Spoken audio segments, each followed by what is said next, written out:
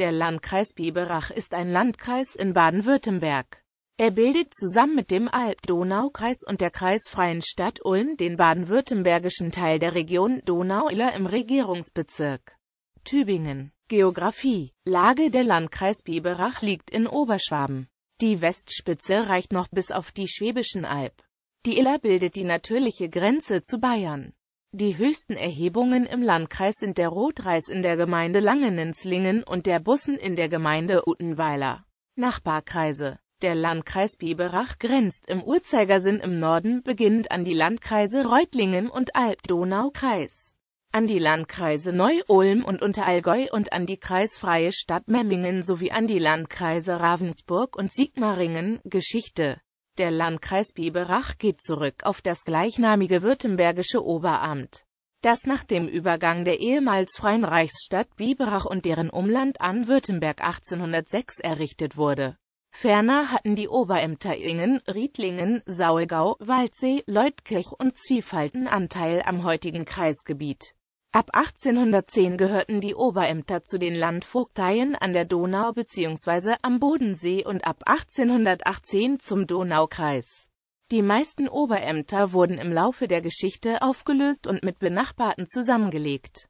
Übrig blieben im 20. Jahrhundert lediglich die Oberämter Biberach, Leutkirch und Laupheim 1924 wurde der Donaukreis aufgelöst und 1934 wurden die Oberämter in Landkreise umbenannt. Bei der Gebietsreform von 1938 wurden die Landkreise Leutkirch und Laupheim aufgelöst. Dabei kamen einige Gemeinden des Landkreises Leutkirch sowie der Großteil des Landkreises Laupheim zum Landkreis Biberach bei der Kreisreform erhielt der Landkreis Biberach am 1. Januar 1973 einige Gemeinden der Landkreise Saulgau und Ingen sowie die Gemeinden Villafingen und Langnenzlingen des Landkreises Sigmaring, musste im Gegenzug jedoch die Gemeinde Dietmanns an den Landkreis Ravensburg sowie die Gemeinden Oberbalzheim und Unterbalzheim an den Alb-Donau-Kreis abgeben Bereits am 1. Oktober 1972 wurde der Ort Illichhofen von Moosbeuren nach Artenweiler umgegliedert und kam somit vom Landkreis Ingen zum Landkreis Biberach. Am 1. Januar 1976 wurden die Orte Gänsenweiler, Hakenaufurt, Herwitzweiler und Wattenweiler aus der zum Landkreis Ravensburg gehörenden Stadt Bad Waldsee aus und in die Gemeinde in Goldingen eingegliedert nach Abschluss der Gemeindereform umfasste der Landkreis Biberach noch 45 Gemeinden, darunter sechs Städte und hiervon wiederum mit Biberach an der Riss eine große Kreisstadt. Größte Stadt des Kreises ist Biberach an der Riss, flächengrößte Gemeinde ist Langenenzlingen, kleinste Gemeinde ist Moosburg. Einwohnerentwicklung Die Einwohnerzahlen sind Volkszählungsergebnisse oder amtliche Fortschreibungen des Statistischen Landesamts Baden-Württemberg. Politik der Landkreis wird vom Kreistag und vom Landrat verwaltet. Kreistag Der Kreistag wird von den Wahlberechtigten im Landkreis auf fünf Jahre gewählt. Die Kommunalwahl am 25. Mai 2014 führte zu folgendem vorläufigen Ergebnis. Das amtliche Endergebnis wird vom Statistischen Landesamt gegen Ende des Jahres bekanntgegeben. WG Wählervereinigungen, da sich die Ergebnisse von 1989 bis 2004 nicht auf einzelne Wählergruppen aufschlüsseln lassen. Punkt. Am 23. Juli 2008 hat Kreistag einer Patenschaft zwischen dem Landkreis und dem mittleren Transport-Hubschrauber-Regiment 25 Oberschwaben in Laupheim zugestimmt. Landrat Der Landrat wird vom Kreistag für eine Amtszeit von acht Jahren gewählt. Er ist gesetzlicher Vertreter und Repräsentant des Landkreises sowie Vorsitzender des Kreistags und seiner Ausschüsse, hat aber in den Gremien kein Stimmrecht, er leitet das Landratsamt und ist Beamter des Kreises. Zu seinem Aufgabengebiet zählen die Vorbereitung der Kreistagssitzungen sowie seiner Ausschüsse. Er beruft Sitzungen ein, leitet diese und vollzieht die dort gefassten Beschlüsse. Sein Stellvertreter ist der erste Landesbeamte. Die Landräte des Landkreises Biberach seit 1937 zu 1937 minus 1945 Maximilian Wiesigmann. 1945 bis 1946 Fritz Eller, SPD 1946 bis 1947 Karl Heukensprenger 1947 bis 1973 Paul Heckmann 1973 bis 1992 Wilfried Steuer, CDU 1992 bis 2006 Peter Schneider, CDU, seit 2006 Heiko Schmidt. Die Oberamtmänner des ehemaligen Oberamts sind unter Oberamt Biberach dargestellt. Wappen Das Wappen des Landkreises Biberach zeigt in gespaltenem Schild vorne in Gold einen halben, rot bewehrten schwarzen Adler am Spalt. Hinten in Rot einen mit der Krümme nach links gerichteten goldenen Abtsstab mit silbernem Velum. Das Wappen wurde am 4. März 1970 und nach der Kreisreform am 3. September 1973 neu verliehen. Der Reichsadler steht für die zahlreichen reichsunmittelbaren Herrschaften im heutigen Kreisgebiet. Vor allem die ehemals freien Reichsstädte Biberach und Buchau. Der Abtsstab steht für die ebenfalls zahlreichen teilweise reichsunmittelbaren Klöster im Kreisgebiet, die 1803 säkularisiert wurden. Wirtschaft und Infrastruktur der Landkreis hält einen Anteil von gut 11 Prozent an den oberschwäbischen Elektrizitätswerken und nimmt über diese Beteiligung auch Einfluss auf die Geschäftspolitik der Energieversorger ENBW und der GVS. Die größten Arbeitgeber des Kreises sind unter anderem Böhringer Ingelheim, Liebherr, Handmann, die Kliniken des Landkreises. Kessbohrer Geländefahrzeug, Eckebben, Südpack, Ullmann, Rentschler, Sillet und Weishaupt. Nach dem Zweiten Weltkrieg war noch der überwiegende Großteil der Bevölkerung in der Landwirtschaft tätig. Der Strukturwandel wurde im Landkreis Biberach im Vergleich zu anderen Landkreisen schnell vollzogen.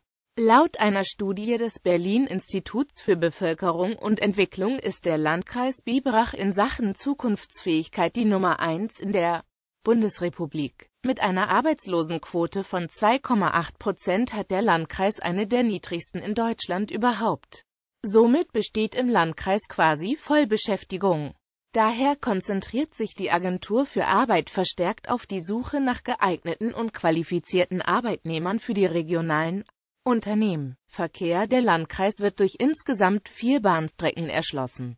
Hinzu kommen eine Museumsbahn und eine inzwischen ganz stillgelegte Bahnlinie. Im Einzelnen sind dies die Württembergische Südbahn von Ulm nach Friedrichshafen im Abschnitt Laubheim-West-Biberach-Bad Schussenried.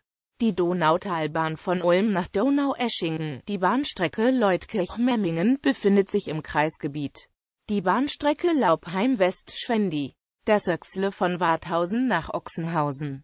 Die Federseebahn von Riedlingen nach Bad Schussenried. Der ÖPNV wird durch den Donau-Iller Nahverkehrsverbund, der auch die kreisfreie Stadt Ulm, den Alt-Donau-Kreis und den Landkreis Neu-Ulm umfasst, organisiert. Das Kreisgebiet wird von der Bundesautobahn 7 Ulm-Memmingen berührt. Ferner wird es durch Bundes-, Landes- und Kreisstraßen erschlossen.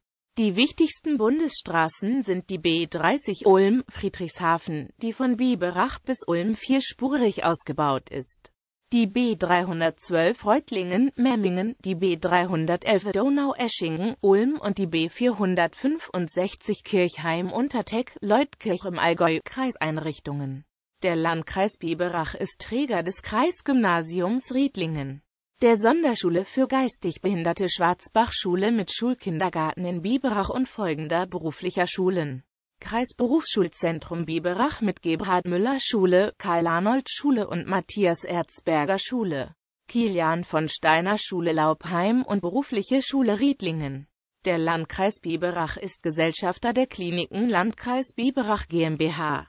Diese Gesellschaft ist Träger der Kreiskliniken Biberach, Laubheim, Ochsenhausen und Riedlingen der Geriatrischen Rehabilitationsklinik Biberach und der Kreispflegeheime Biberach, Laubheim, Ochsenhausen und Riedlingen, Städte und Gemeinden. Städte und Gemeinden vor der Kreisreform. Zum Landkreis Biberach gehörten ab 1938 zunächst 87 Gemeinden, darunter vier Städte.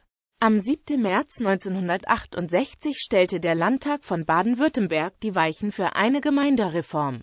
Mit dem Gesetz zur Stärkung der Verwaltungskraft kleinerer Gemeinden war es möglich, dass sich kleinere Gemeinden freiwillig zu größeren Gemeinden vereinigen konnten.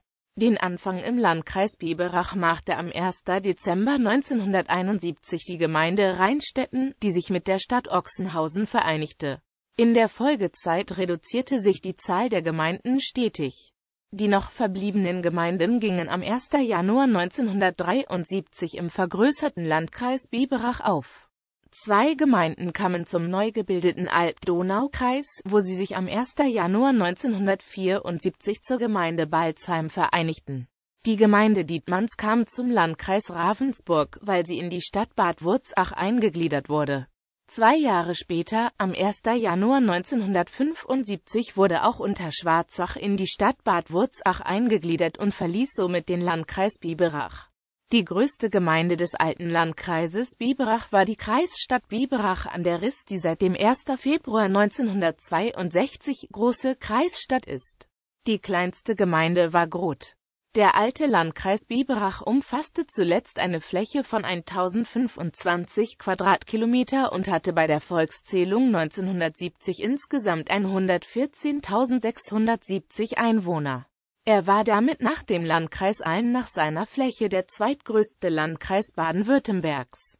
In der Tabelle wird die Einwohnerentwicklung des alten Landkreises Biberach bis 1970 angegeben. Alle Einwohnerzahlen sind Volkszählungsergebnisse. In der Tabelle stehen die Gemeinden des Landkreises Biberach vor der Gemeindereform. Die meisten gehören auch heute noch zum Landkreis Biberach.